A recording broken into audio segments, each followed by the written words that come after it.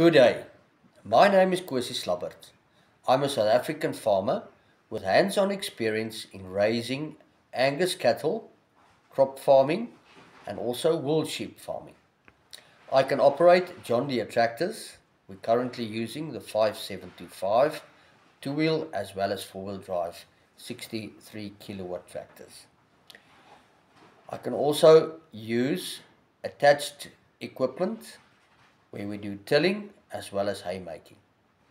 I also have experience in irrigation which includes valley pivots as well as sprinkler systems and drag lines.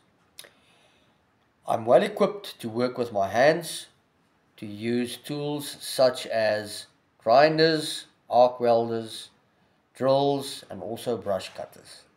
I would jump to the opportunity to be able to work in the United States on a farm and it would be really a big honor.